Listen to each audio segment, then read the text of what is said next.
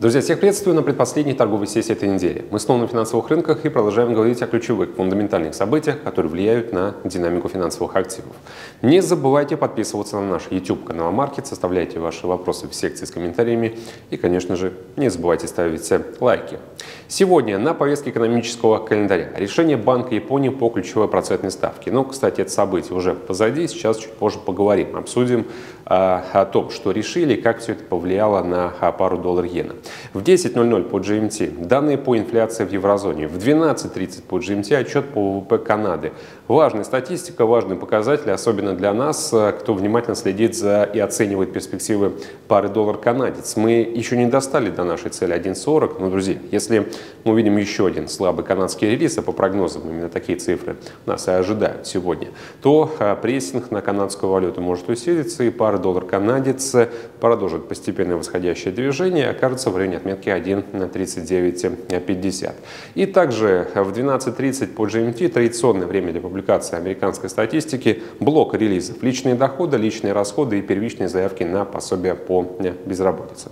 Индекс доллара текущей котировки 104 пункта. Вы знаете, если оценивать эм, вчерашний отчет по EDP и говорить о фактическом приросте на 233 тысячи новых рабочих мест, в то время как прогноз предполагал увеличение всего лишь на 115 тысяч, странно то, что доллар не смог выбраться на новые локальные максимумы. Ведь э, еще одно подтверждение сильного рынка труда снижает э, больше вероятность какого-то агрессивного смягчения американской монетарной политики.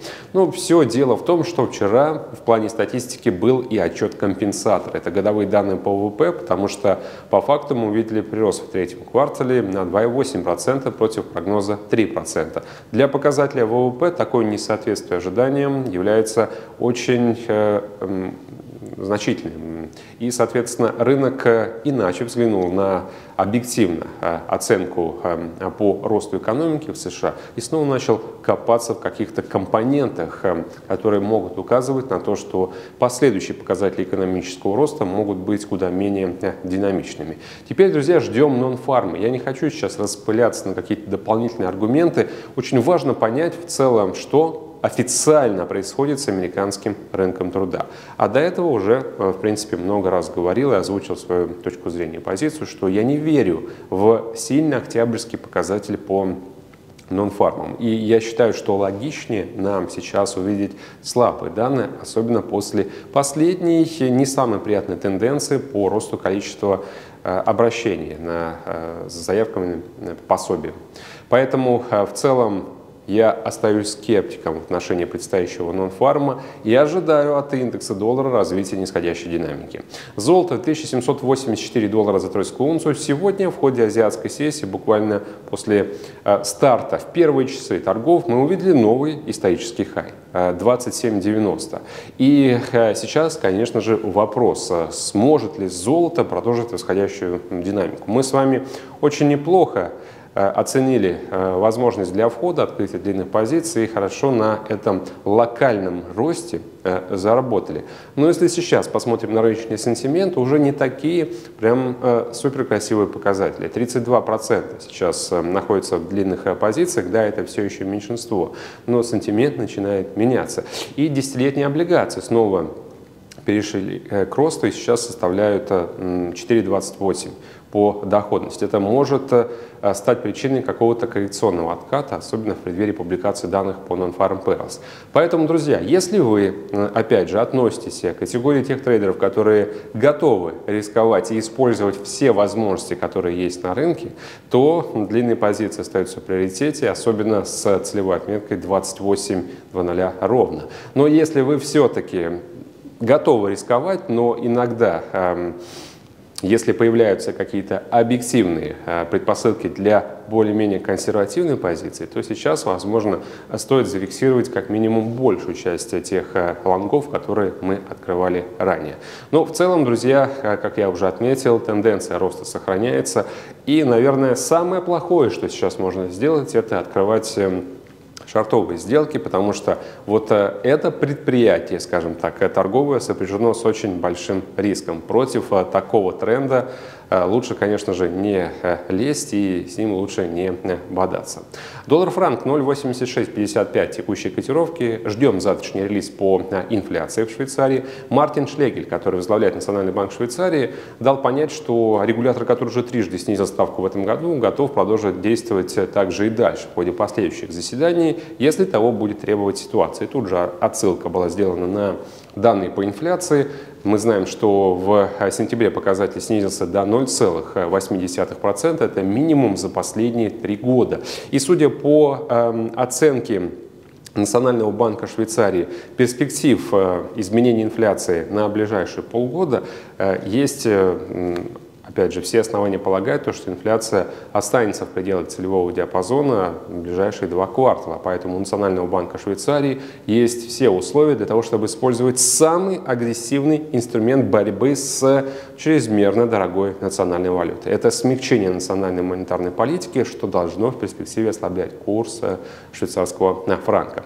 Доллар-иена 152.90. Решение по ставке в соответствии с ожиданием ее не изменили. 0,25%. Поэтому по-прежнему придерживаемся э, прогноза относительно того, что ставку повысить, скорее всего, в первом квартале и в третьем 2025 года, доведут до нейтрального уровня 0,75, а пока, друзья, мы следим за именно политической неопределенности в Японии, в Японии, потому что даже после э, вроде бы как очевидных свидетельств того, что Исиба должен стать э, новым э, премьер-министром, мы знаем то, что правящая либерально-демократическая партия за последние 15 лет на прошлых выборах потерпела сокрушительное поражение и не набрала достаточного количества голосов, чтобы сохранить полный контроль над парламентом.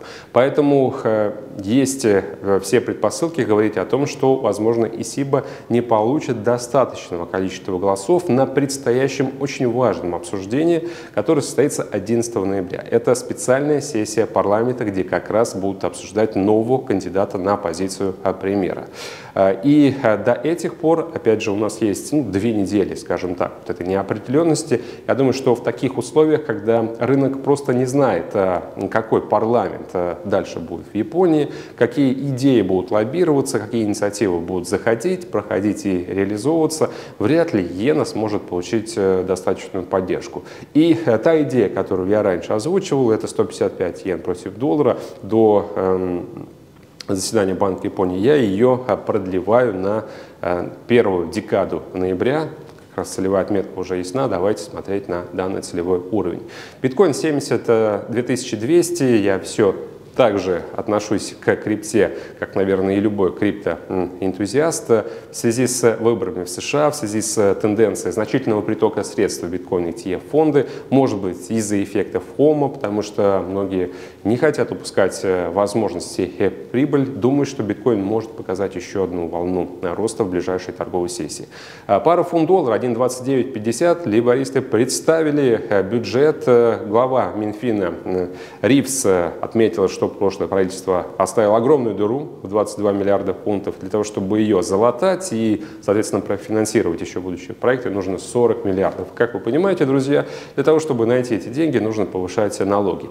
Кому интересно, можете найти статью вот непосредственно по будущим бюджетным преобразованиям, и там прям детально какие ставки, как будет меняться. Но вот э, мне больше всего понравилось, э, в кавычки, скажем так, э, возьмем налог на прирост капитала, который вырастет практически вдвое, с 10 до 18 процентов. Безусловно, это негативная реакция бизнеса со всеми вытекающими отсюда последствиями.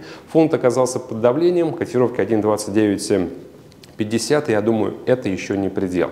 Поэтому с длинными позициями по-прежнему пока лучше не связываться. Доллар канадец уже отметил, ждем э, цель 1.3950 после выхода данных по ВВП Канады. И рынок нефти также, друзья, без изменений 72.60 текущей котировки. Я за дальнейшее снижение, даже несмотря на появившиеся на рынке слухи о том, что страны ОПЕК плюс могут отложить инициативу по увеличению добычи на 180 тысяч баррелей с декабря на первый квартал следующего года. Но подтверждения этой информации я не нашел, поэтому слуг, ну, он может очень быстро с рынка исчезнуть. На этом, собственно, все. Большое спасибо за внимание и хорошей торговой сессии. Всем пока!